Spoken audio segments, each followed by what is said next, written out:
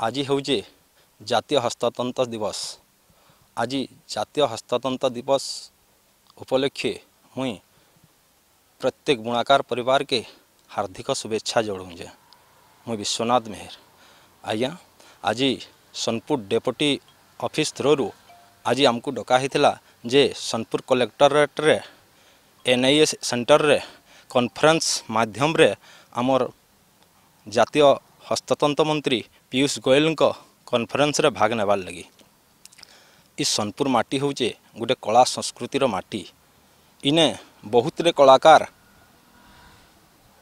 ଅଛନ୍ ଯେନ୍ମାନେ କି କଳା ମାଧ୍ୟମରେ ସମ୍ବଲପୁରୀ କଳା ମାଧ୍ୟମରେ ବାନ୍ଧ କଳା ମାଧ୍ୟମରେ ରାଜ୍ୟ ପୁରସ୍କାର ଜାତୀୟ ପୁରସ୍କାର ପାଇଛନ୍ ସେମାନଙ୍କର ଭିତରୁ ମୁଇଁ ବି ପରିବେଶ ସୁରକ୍ଷାର ବାନ୍ଧ କରିକିରି ରାଜ୍ୟ ପୁରସ୍କାର ପାଇଥିଲି।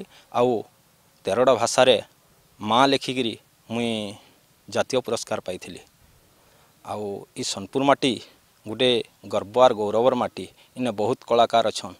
ଆଉ ସୌଭାଗ୍ୟ ବି ଯେ ଆମର୍ ମାନନୀୟ ଯଶସ୍ୱୀ ପ୍ରଧାନମନ୍ତ୍ରୀ ଶ୍ରୀଯୁକ୍ତ ନରେନ୍ଦ୍ର ମୋଦି ଯେତେବେଳେ ପି ଏମ୍ ହେଲେ ସେ ଅଗଷ୍ଟ ସାତକୁ ଜାତୀୟ ହସ୍ତତନ୍ତ ଦିବସରେ ଘୋଷଣା କଲେ ଯେ ବୁଣାକାରକୁ ଉଚିତ ସମ୍ମାନ ଦେବାର୍ ଲାଗି।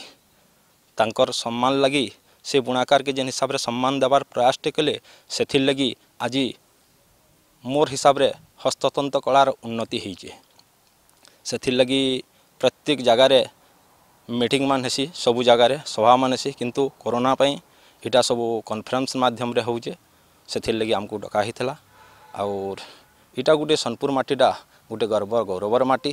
ମୁଇଁ ସବୁ ବୁଣାକାରମାନଙ୍କୁ ଶୁଭେଚ୍ଛା ଜଣାଉଛେ ଯେ ଏ କଳାକେ ଆହୁରି ଆହୁରି ବିକଶିତ କରିକିରି ଦେଶ ବିଦେଶରେ ଯେନ୍ ନାଁ ଅଛେ ଆହୁରି ବିକଶିତ କରିକିରି ପୁରା ସୋନପୁର ମାଟିର ଗର୍ବ ଗୌରବ ବଢ଼ାବାର୍ ଲାଗି ମୁଇଁ ପ୍ରତ୍ୟେକ ବୁଣାକାର ପରିବାରକେ ଶୁଭେଚ୍ଛା ଜଣାଉଛେଁ।